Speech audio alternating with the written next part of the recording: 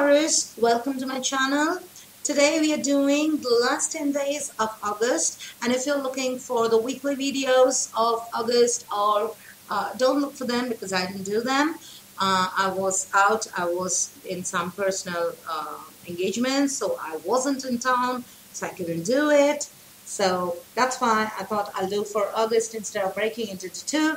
I'll do, you know, one combined video which will have general and love and for the last 10 days of August. Okay? All right. So uh, before I start, Taurus, now this I explained to Aries also on the other videos, other uh, zodiacs. I would be bringing out certain videos. Uh, they'll be mostly audio, maybe. And, uh, you know, I'll be talking about Vedic astrology, how it is different from the tropical that we follow, and what is the right way to see your tarot readings. Okay, whether you should just see it by your general sun sign, or you should see it by your moon sign, or whether by rising, and what is the right way to look at it, what is the difference, why sometimes we see a sun sign video but that doesn't work with us so uh, I'll explain all that in those. They'll be very small uh, educational videos, and I'll try to make it into as layman language as possible. All right. Okay. Uh, now, just for before I begin, uh, if you're looking things, uh, looking at things from the sun sign level, then what happens is you're looking at things at a very soul level. So that is very deep rooted. That is very deep. So that is what your soul wants. But maybe in your practical life, maybe in your day to day life, you're not that. So, at the soul level, you're a person who loves independence. But in your daily life, you show as a family is very important. So, then if you're seeing your tarot by your sun sign, they will never resonate with you. Because unless you're living the life that your soul wants, it will not resonate. Similarly, moon is the way you think. So, from your thought level, you could be seeing things from the moon side and knowing that, okay, this is what I need to do, or maybe this is what the other person is thinking. But that, that may or may not manifest in the real life. Why? Because again, thoughts could be different from the actions we take. Sometimes, let's say you're hungry but your action is you are screaming on your friend. So now you're hungry, that, that boils down to you losing your cool. And that will have a different replication. So moon sign, watch it by your moon sign only if whatever you think is that you is that's what you do. Okay? And very few people do that. Because I give a very small example, there could be even deeper issues. Similarly, on your rising, rising is the best way to see anything because rising is what you are immediately doing in the physical world, in your physical self. So, those are the actions you're taking, those are the way you behave in public. So, when you're watching tarot, especially your love reading, or your work, you are dealing with people. Whether it's a single person or whether it's a group of people or an organization, you're dealing with external world. So there, what you're thinking at the soul level or what you're thinking at a mind level will really not always precipitate to a physical level. You may do that, do those things, you may not. You may just do what the others are doing. Okay? So if you know whether you think from your soul level or whether you think from your mind level, then watch by your sun sign, moon sign. Else, right, watch first your rising and then see your sun and moon and see if they are resonating, if they're making sense to you. All right, so we'll have more details in the other videos that are to come. All right, so Taurus, let's see what we have for you.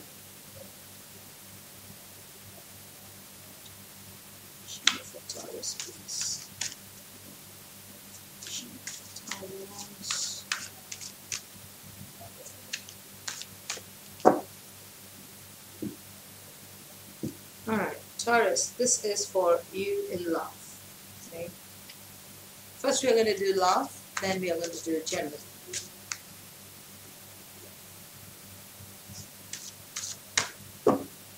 And again, this is tarot, so energies can completely flip. Okay? So this is you, this is the other person. So this can completely flip, as I said. And this is the outcome. For work. Work or general. So your general can very well match with your love life. It may be completely separate. This is what is happening around you. This is what you got to do. And this would be the outcome. All right, Taurus. Let's see. First, the messages. What message do we have from my Taurians regarding love? What is it for Taurus regarding love?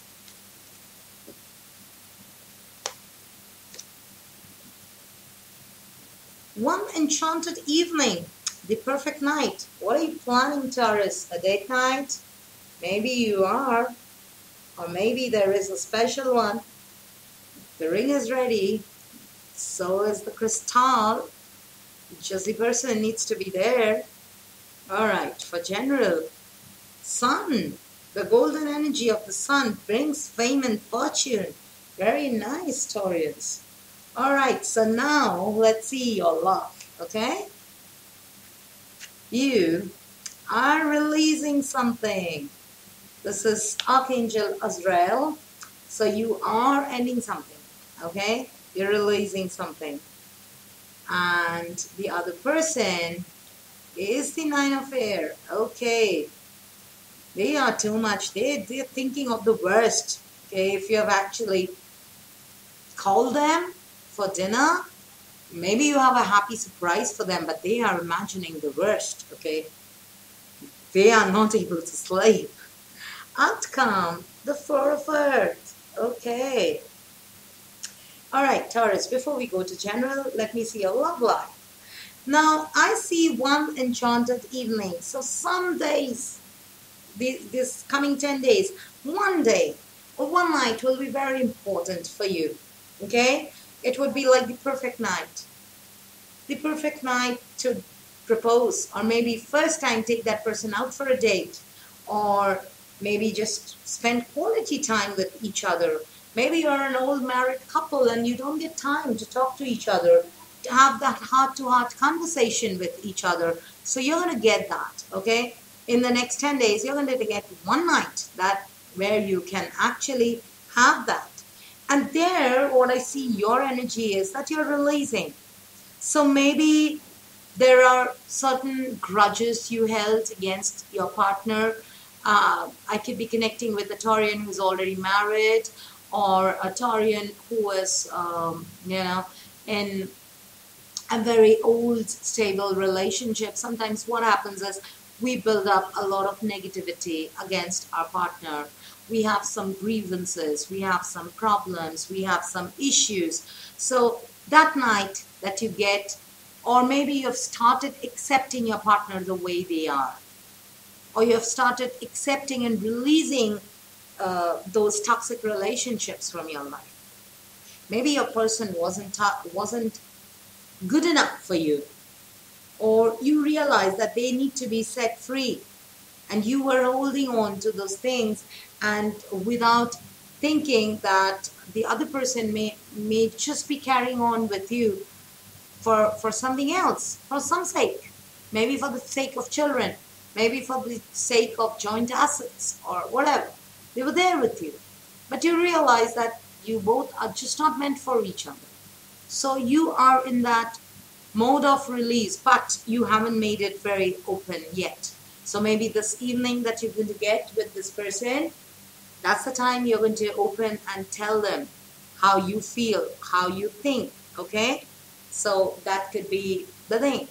The other person, on the other hand, I'm seeing they are expecting the worst from you. Maybe it is something even small, you know, something they've done and you have come to know of it.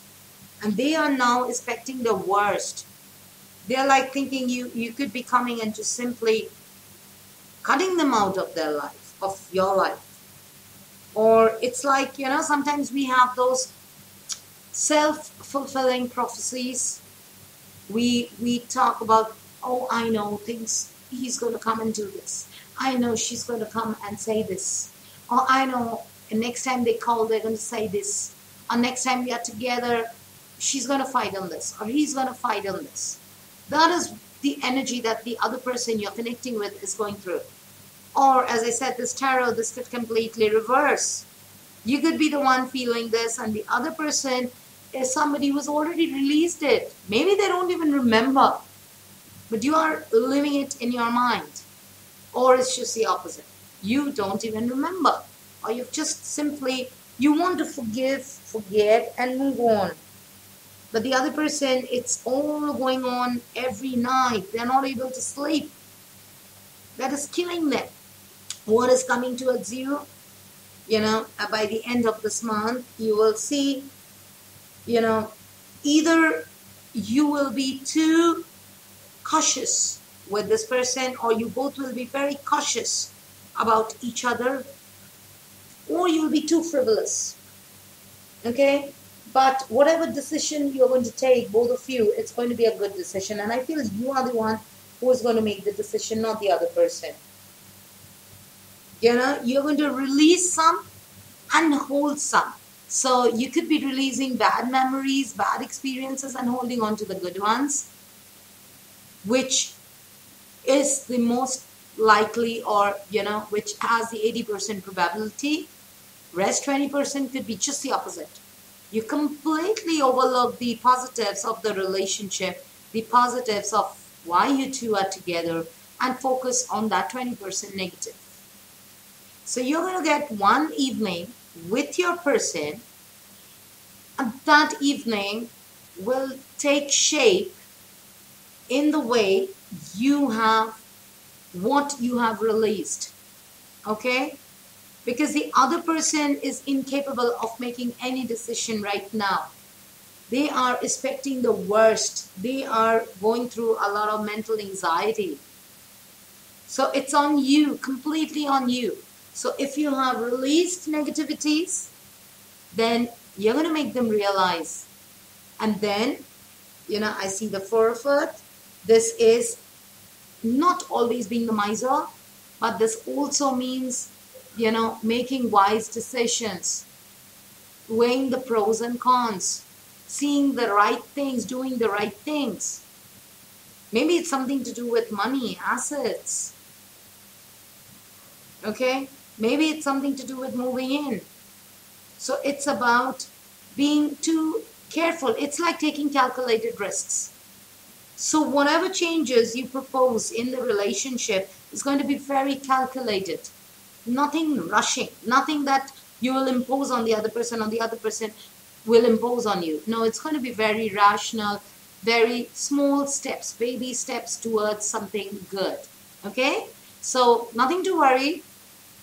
I see you coming out of certain old things that were not serving you and you are transforming yourself. So things which where you lost your cool in the past, I see you more accepting to them.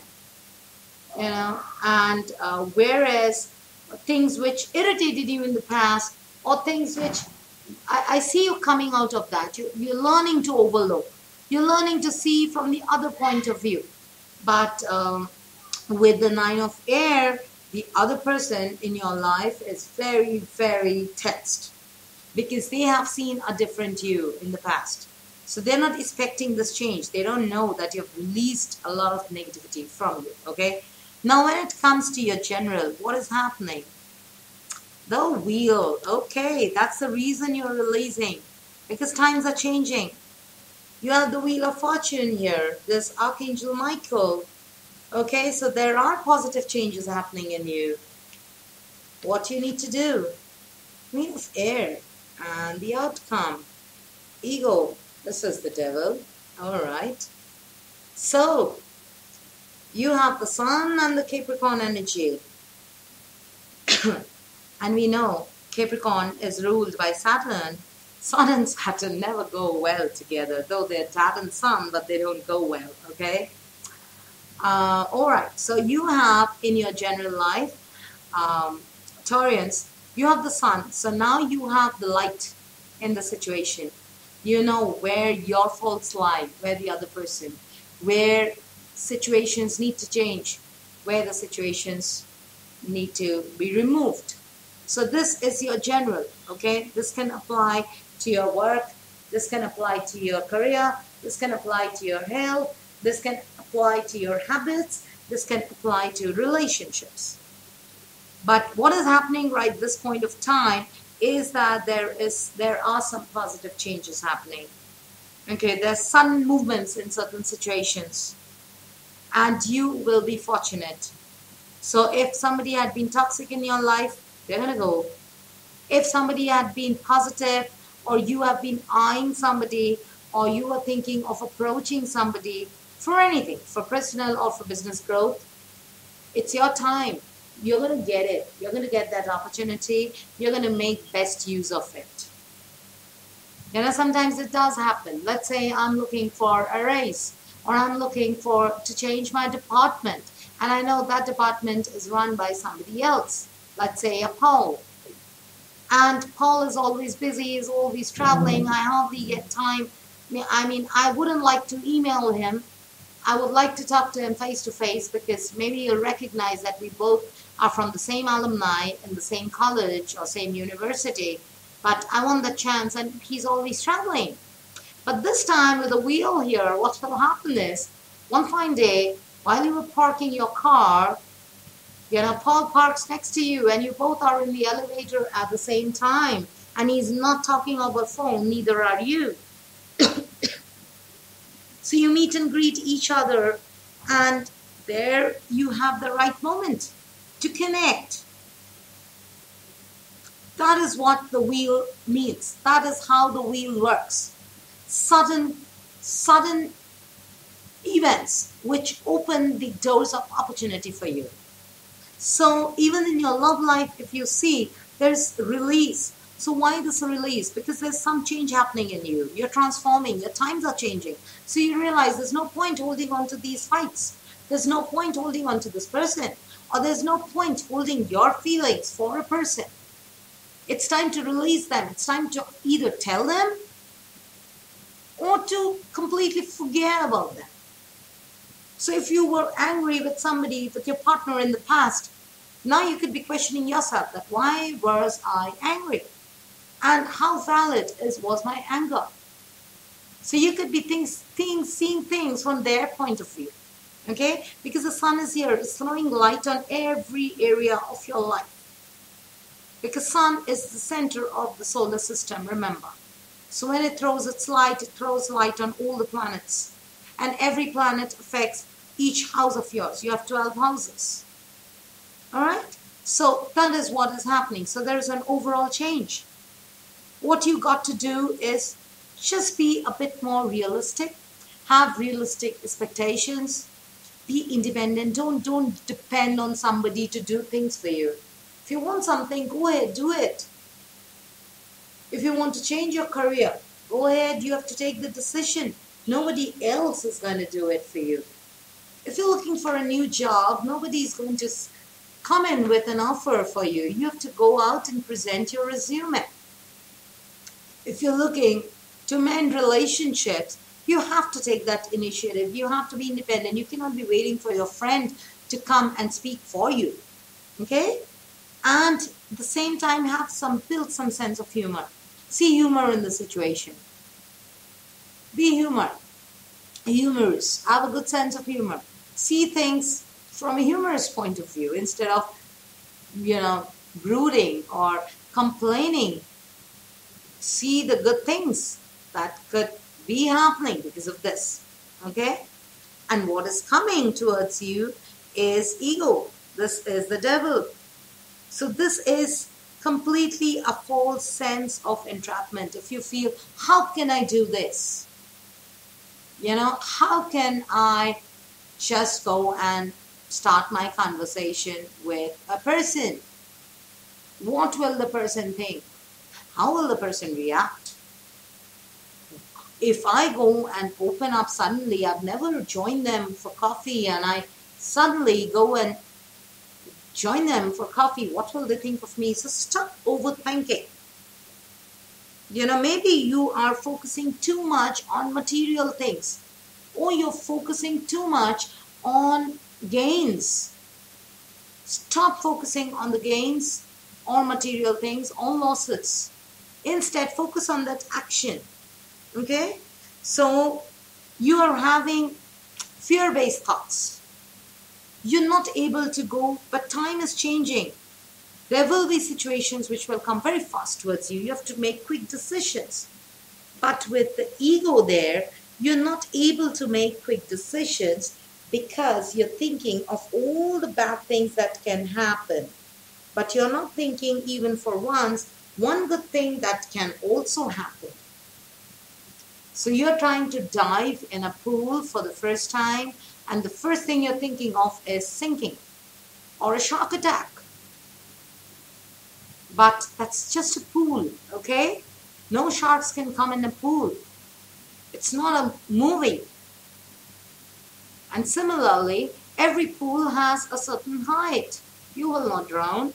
Yeah, you might feel uncomfortable with the water hitting your nose, but you will not drown.